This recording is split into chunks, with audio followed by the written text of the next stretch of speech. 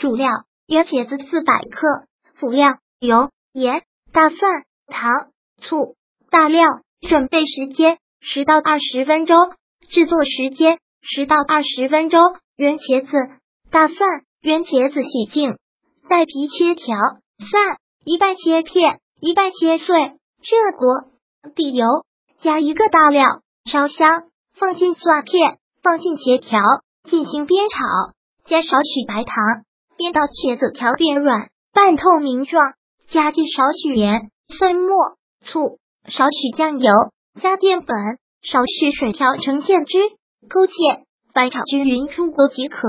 烹饪技巧：底油加蒜片，最后放蒜末，这样成菜蒜香浓郁。